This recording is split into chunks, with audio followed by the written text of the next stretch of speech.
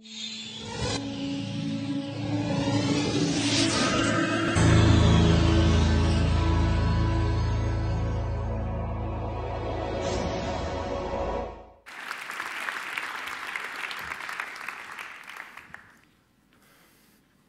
guten Tag. Freut mich, dass ich da bin. ähm, ja, also was soll Biohacking sein? Ähm, ich muss dazu erstmal ein bisschen ausholen. Und zwar ähm, beschäftigt sich Biohacking eben mit der mo modernen Molekularbiologie. Ich studiere Molekularbiologie und ähm, beschäftige mich eben jetzt seit ein paar Jahren mit dem Biohacking. Und das habe ich angefangen, weil ich ähm, einfach genauer wissen wollte, äh, und das vor allem auch selbst machen wollte, was ich so im Studium theoretisch gelernt habe. So, das war meine primäre Motivation. Also es war eine Neugier und ähm, ich wollte irgendwie näher ran an die Materie. So. Ähm, ich denke, dass die Molekularbiologie im Allgemeinen, jetzt also ganz allgemein gesprochen, Biotechnologie, alles, was man dazu zählt, synthetische Biologie und so weiter, extrem wichtig ist, jetzt schon extrem wichtig ist und noch viel, viel wichtiger werden wird in Zukunft. Ähm, da gibt es so umstrittene Sachen wie diese ganzen gentechnisch veränderten Pflanzen auf den Äckern. Ähm, es gibt jetzt äh, Craig Venter in den USA, der versucht, äh, Biofuel herzustellen, also Benzin aus Algen. Und dann gibt es auch schon Sachen, die total im Alltag angekommen sind, was den meisten Leuten aber gar nicht bewusst ist. Zum Beispiel Waschmittelenzyme, die uns erlauben, mit 40 Grad Wäsche zu waschen, sind auch gentechnisch ähm, optimierte Enzyme. Und ähm, die Liste kann man endlos fortsetzen. Und also aus dem Interesse daran, an dieser, an dieser Technologie, bin ich eben da weiter, äh, weiter reingegangen. So was, warum jetzt hacken?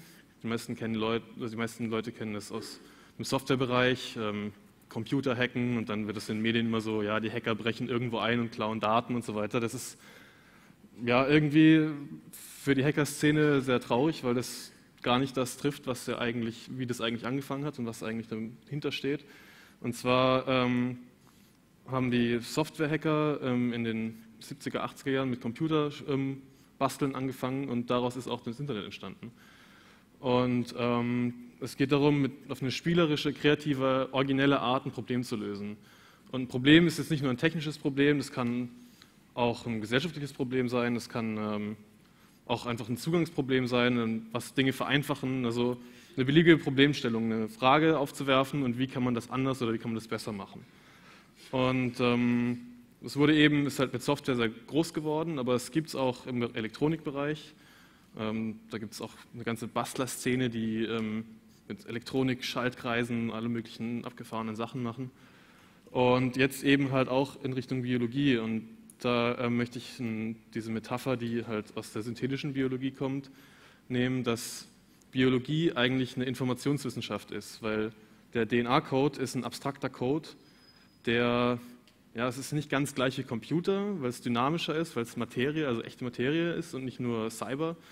Aber es ist auch ein Code und den kann man auch programmieren und entsprechend kann man ihn auch hacken.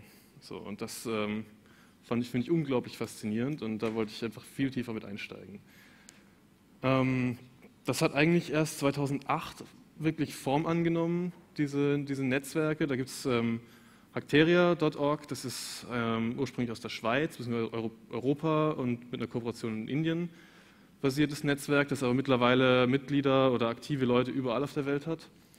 Ähm, das, sind, das hat eine mehr künstlerische Ausrichtung, also da geht's, sind viele Künstler und Philosophen und äh, in Zusammenarbeit mit Wissenschaftlern damit beschäftigt, eben sich mit diesen Technologien auseinanderzusetzen und Fragen zu stellen und das kreativ zu verarbeiten. Da gibt es Museumsausstellungen und äh, ja, alles Mögliche. Aber es geht eigentlich immer darum, so einen, so einen lockeren Zugang zu finden, so einen spielerischen Umgang zu haben damit. Und dann gibt es äh, doityourselfbio.org, ähm, DoIYBio. Ähm, das ist aus den USA ein Netzwerk. Ähm, das ist eigentlich mehr so eine Art Forum, wo, sich, wo man sich halt trifft und online diskutiert.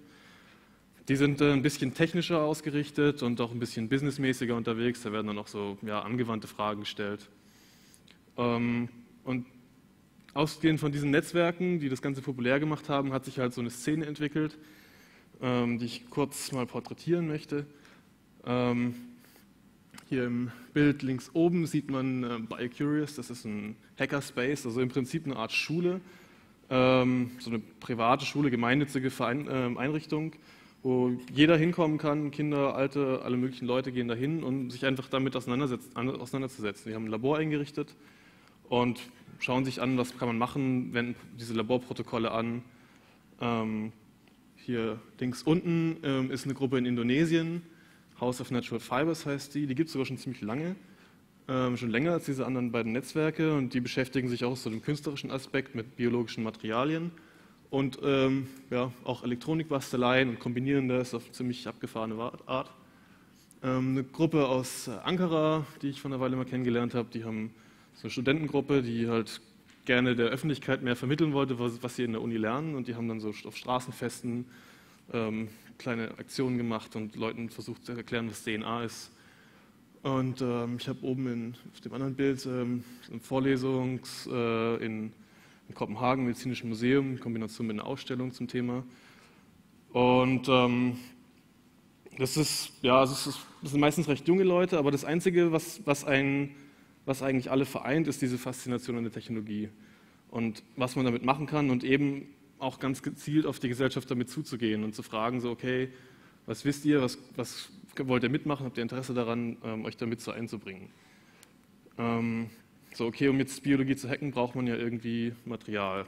Ähm, man braucht natürlich biologische Materialien und man braucht aber auch Werkzeuge und das ist dann ein Labor ähm, beziehungsweise das, was man normalerweise im Labor versteht, sind so irgendwie abgefahrene Maschinen, extrem teuer, extrem distanziert, nur für Fachpersonal, ausgebildete Akademiker mit Doktortitel und so weiter.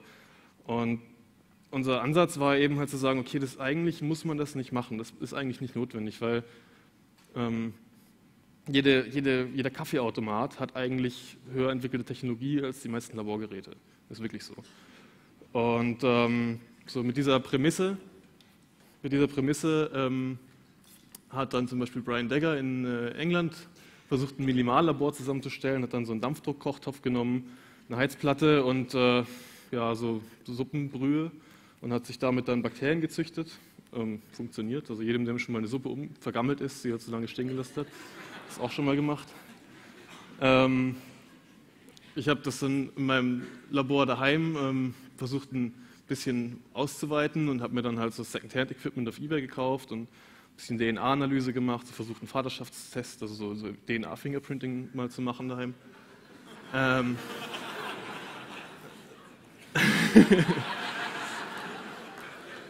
ähm. Das sollte jetzt eigentlich gar kein Witz sein, aber ähm, hier unten in dem Bild sieht man äh, ist, äh, das Labor, in Anführungsstrichen, das ist so eine zugestellte Garage mit auch so allen möglichen Laborgerümpel, den die Uni ausgemistet hat, so eine Gruppe in Paris, ähm, die sich da ähm, was, was eingerichtet hat und ziemlich erfolgreich damit ist, noch ziemlich interessante Sachen macht. Da will ich auch noch ein Projekt kurz anschneiden. Und das hier ist bei Curious, der eben auch erwähnte Hackerspace, dieses, ja, so eine Art Volkshochschule im Prinzip für, für molekulare Biologie. Und ähm, ja, also man sieht, es ist relativ, relativ heterogen. Also es gibt halt von Leuten, die das alleine daheim machen, bis hin zu großen Organisationen, also mittelgrößeren Organisationen, die halt das mehr formal auch schon in institutionalisierter Form schon betreiben. Aber eben immer, immer der, der Ansatz, dass es halt einfach und zugänglich sein soll. Ähm, das erste Projekt, das wir als internationale Gruppe gemacht haben, als wir uns quasi unserer selbst bewusst wurden, okay, es gibt uns jetzt hier als wirkliche Szene auch und wir sind online und wir, man kennt so die Leute, die da mal chatten und so. Und dann äh, kam eben von der ähm, Do-it-yourself-bio.org ähm, der Gründer ähm, und hat gesagt, okay, wir müssen jetzt uns mal wirklich treffen, auch real treffen und hat dann zwei Veranstaltungen organisiert, eine in London 2010 und kurz darauf in den USA, in San Francisco. Und ähm, da ging es dann auch darum, ähm, okay, wer sind wir, was wollen wir, was wollen wir auch, was wollen wir mitteilen und was, was sind unsere Werte und was, sind, was ist unsere Zielsetzung, unsere Grundlage. Und da haben wir dann so einen Code of Conduct ähm, ausgearbeitet, das war recht intuitiv, also jeder hat einfach so seine Wünsche und seine, das, was ihn halt bewegt, ausgedrückt. Und da kam meiner Meinung nach ein ganz guter Code zustande. Ähm, und den haben wir dann, der ist nicht verbindlich, aber es ist halt, ähm, ja, ich denke schon hat sich relativ gut durchgesetzt. Die Leute sind da recht überzeugt von. Und Wir haben dann sogar versucht, das auch in die akademische Welt wieder zurückzubringen, aber dort ist das irgendwie nicht so angekommen. Also ich glaube, wir Biohack, aus der Biohacker-Szene sind in der Hinsicht schon sogar einen Schritt weiter als die, die akademische Welt. Ähm, ja, was für Projekte machen wir jetzt eigentlich so? Ähm, ein Projekt, das ich mit dem ähm, Hakteria-Netzwerk in der Schweiz letzt gemacht habe, war, dass wir eine sogenannte optische Falle ähm, oder ähm, optische Pinzette basteln wollten. Das ist, ähm, wenn man einen Laserstrahl ähm, fokussiert auf dem, im Raum, dann kann man damit kleine Partikel einfangen in der Luft oder in, in der Flüssigkeit und dann in diesem Fokus bewegen. Also der ist dann da eingefangen, also wie so ein, wie so ein Traktor-Beamstrahl ist das im Prinzip.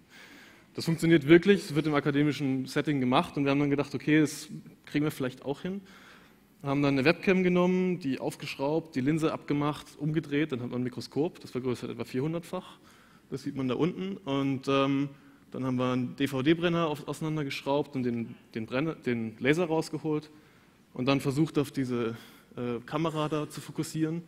Und es äh, hat leider nicht geklappt. Aber wir haben trotzdem viel dabei gelernt.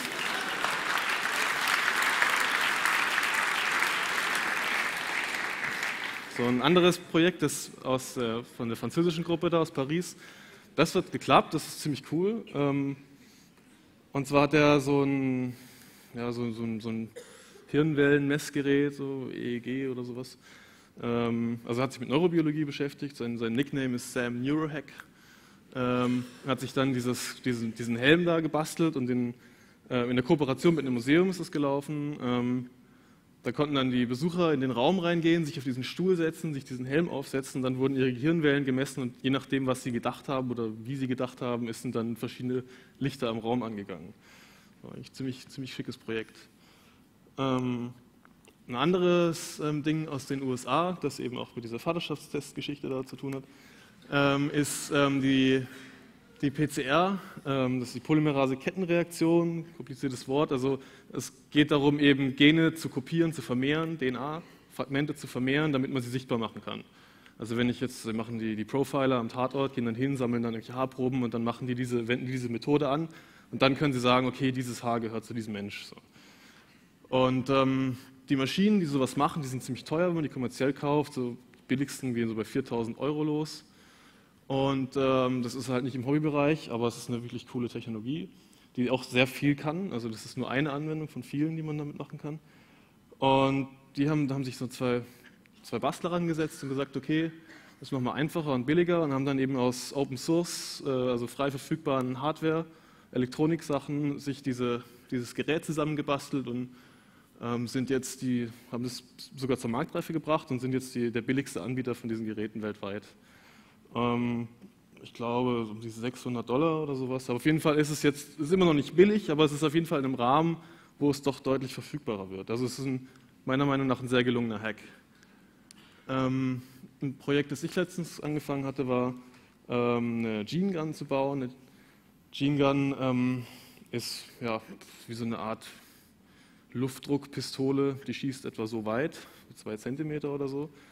Ähm, man lädt DNA auf Goldpartikel und die Goldpartikel dann in diese Luftdruckpistole. Und dann, ähm, ich habe die dann auf Zwiebel geschossen und äh, ähm, habe die dann zum Leuchten gebracht damit. So. ähm,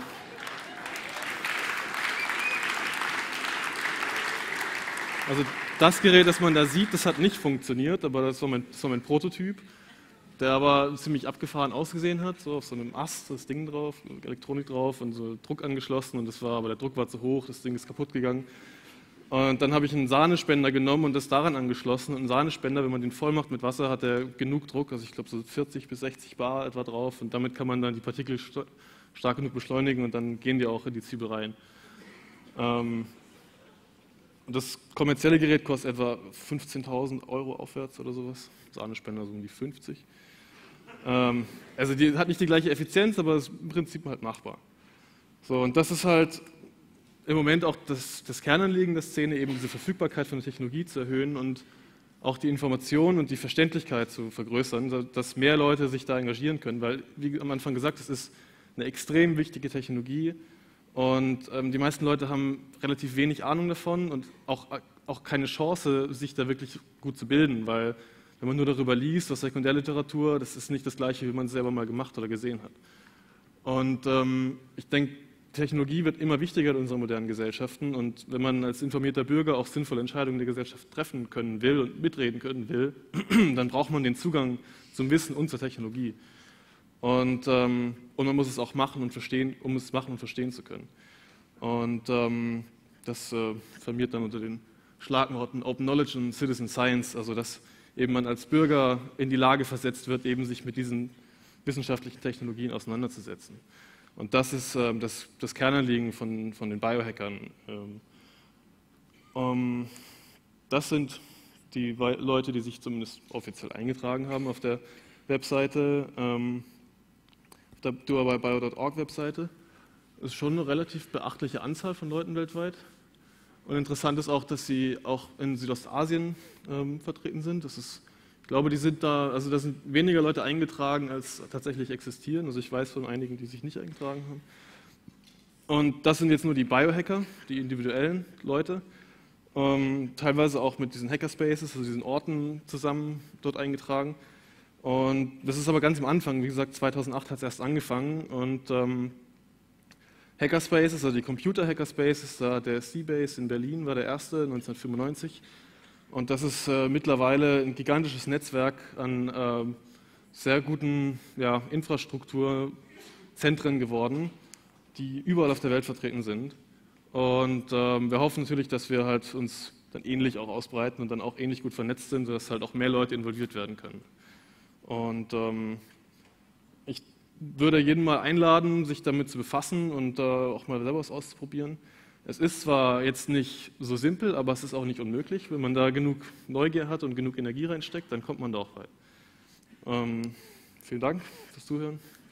Das war's.